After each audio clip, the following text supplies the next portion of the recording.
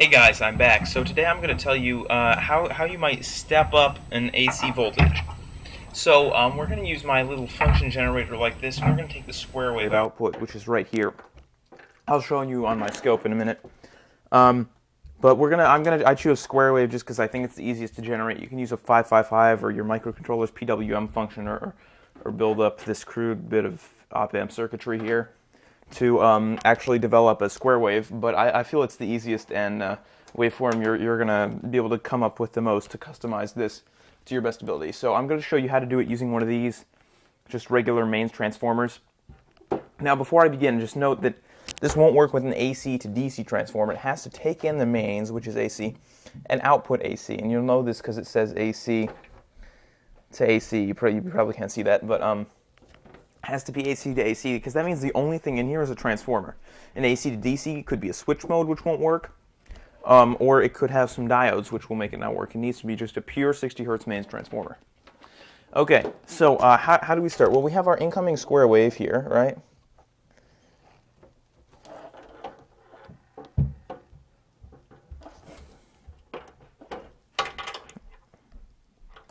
Okay, and uh, down here you know that's ground from, from the square wave.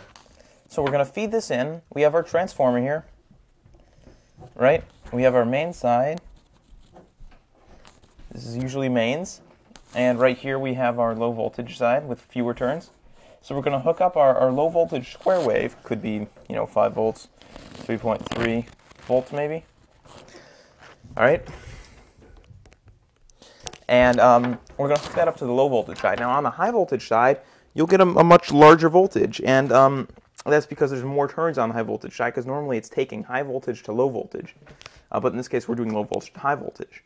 Now keep in mind there's a few limitations of this. One is that because in a normal transformer, it'll take high voltage and low amperage and transform it to low voltage and high amperage.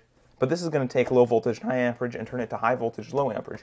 So keep in mind, you're going to be able to draw very little current out of this top side uh, practically zero. You might be able to get 10, 20 microamps maybe, um, is what I believe. So, um, you, you, know, it's going to be uh, pretty difficult to, to draw a significant or even a meaningful amount of current out of this thing. So you're going to have to use very high value resistors if you want a divider or, um, you know, um, so it's, it's, this is really just experimental. Um, but, you know, use it for what you want. So, Here's our transformer again. And um, here's our function generator, and we'll get this. Now, I have the function generator plugged in. You're going to see the scope in a second, but there's something key I forgot to mention, which is a capacitor. So we have our square wave here, and we're going to have to connect up a capacitor between um, the square wave generator and the coil. This is going to remove all the DC offset of the um, square wave, because, you know, maybe your square wave doesn't have DC offset, but Maybe it does. So this capacitor is going to remove the DC offset, and that's that's uh, key. So we're going to plug in our scope here and um, take a look on the scope. So you can see the scope is plugged in, and now you can see we have our waveform up here on the scope. Okay, so we're going to turn this down a bit because um, oh, there we go. No wonder my probe was on times 1, not times 10. So we're going to switch it like that, or actually let's get it like that, and adjust our trigger level. Um, there we go. So now you can see we have our in, uh, incoming square wave. It's easiest to see it like that. So now we're going to shift over here, and we're going to unwrap our transformer. Okay. On the low voltage side, uh, this transformer it does, the, again, the, the way you connect it up doesn't matter because it's a coil, so you can connect the outer to, uh, to ground like I'm going to do, or the inner to ground, it doesn't matter.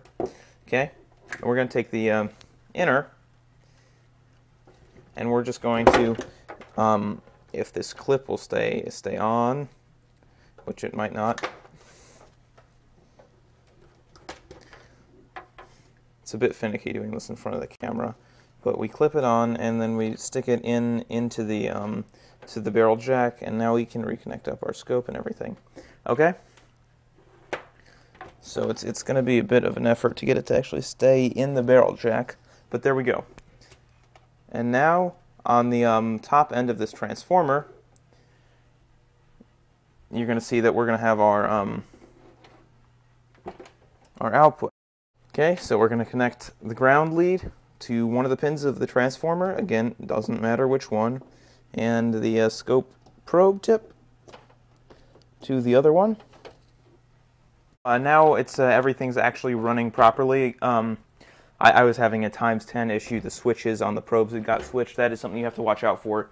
Is the switches on the probes can get switched fairly easily with these type of switchable times 1 times 10 probes.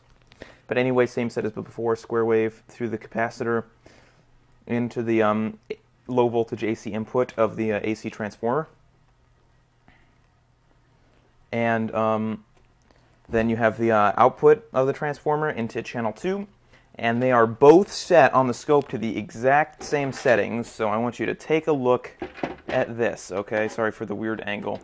Um, take a look at this. Okay, this is the same exact settings. 5 volts per division. That is times 10 compensated. Okay, so look, we have the bottoms of the signals both lines up. And to get to the tops, way up there. So this signal is much larger. Okay, so as you can see, this is the original signal, and this is the signal we're getting out. Much larger. And if we uh, switch it, you can actually see there is some some weird uh, harmonics going on. But that's because we're at about 20 microseconds per division. So this signal has roughly a 1, 2, 3, 4, 80 microsecond period roughly, which is um, a much higher frequency than this transformer was originally meant to be. It was originally meant to be on a 60 hertz frequency, um, but now it's um, at a, a, much higher frequency. So, so um, that's you know that's probably the result of. Um, that's why there's these um, these weird harmonics, like uh, those two.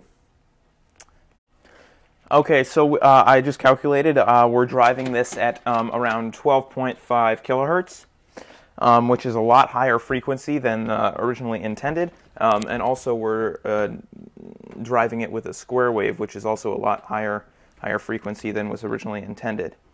But an interesting thing is since this uh, is such a low um, here, that now they're not going to be the same time base, or sorry, same volts per division. Um, uh, because of, um, just to, so you can see it on the screen, but I'll, I'll separate them here. Um, but the interesting thing is that since this is uh, switching um, high amperage, low voltage to high voltage, uh, low amperage, if I just touch one of the um, pins, um, th this the pin that the um, probe tip is connected to, it uh, becomes pretty sinusoidal. Um, but if I touch the other one, not much happens. If I touch them both, it's going to shrink in amplitude a lot because of my body resistance. Uh, but I just thought that's interesting, is that loading it down just a slight bit is going to make it um, more sinusoidal. So I'm going to get a 3.3 megohm resistor here, and I'm just going to leave it between them. Uh, see if I can get it uh, nice and connected between the two uh, poles here. So that's with the 3.3 meg, and that's without. So uh, 3.3 meg doesn't do too much. Um, at least it doesn't drop the voltage any. Uh, but as you can see, it does something. It makes it a bit more sinusoidal. Um, so, you know, that's that's an interesting artifact there, is that loading it down will actually cause it to become uh, slightly more sinusoidal than um, it was before. But keep in mind, this you know this isn't perfect by any means. So that's 3.3 meg, and um, that's not. So you can see that thing there um, goes away a bit. Um, and now, so going back, you can see this is you know really simple. I mean, it's it's involving a square wave, capacitor, and a transformer you have probably laying around already um, that you're not using for your cell phone or, or your camera or whatever, ever, just make sure it's AC to AC. So I'm going to switch my multimeter to volts AC, and keep in mind uh, this multimeter is not um, super, I don't think it's true RMS, so it's not going to measure exactly, um, but I'm going to probe the uh, um, end of the uh, capacitor, reading 1.8 volts at the end of the capacitor um, relative to this ground. And then on this side, relative to the scope ground, we're getting uh, 35 volts. Um, so, and interesting, let's just do an experiment to see if, uh, no, actually, if we hook the scope up, which is interesting, it seems to actually raise our voltage, connecting one side to mains ground um, which is interesting. Uh, but you can also see on the scope is that this voltage is also somewhat referenced to mains ground because I removed the scope ground lead and there's a, still a voltage relative to this uh, ground probe.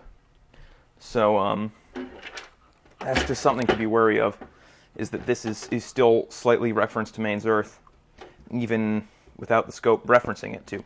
But you can see there's a many times um, voltage increase to about 35 volts from the original signal um, of 1.8 after the capacitor. Um, so, you know, this is an interesting interesting technique to use if you need a high voltage AC, and keep in mind you, you can rectify this to DC, but don't expect it to provide too much current. So, um,